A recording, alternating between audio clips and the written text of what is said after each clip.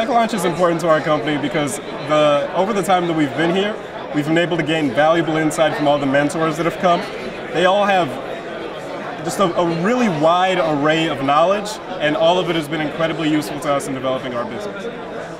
If we had not been accepted into Launchpad, our business wouldn't be as far along, uh, our, our business plan would be less polished,